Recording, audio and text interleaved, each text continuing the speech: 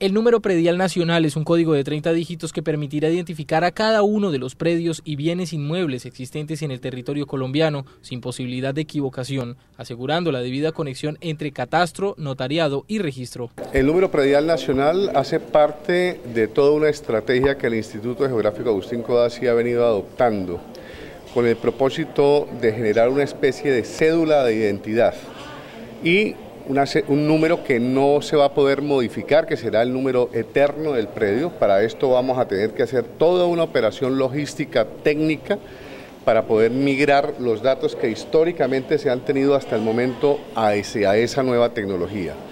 Con esto, ¿qué vamos a lograr? Vamos a, vamos a lograr mayor seguridad en la información del, predio.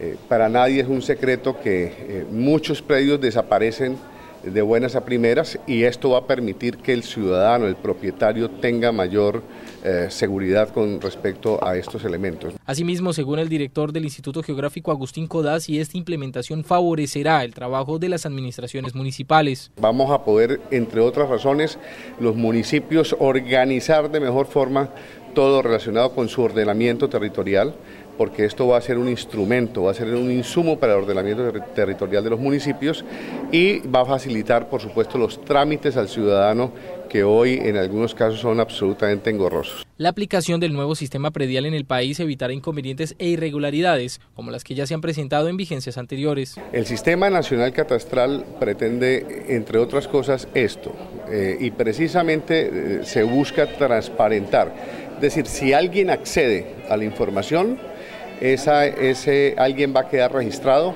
y quién entró, por qué entró, para qué entró, qué fue el trámite que hizo, va a haber una trazabilidad.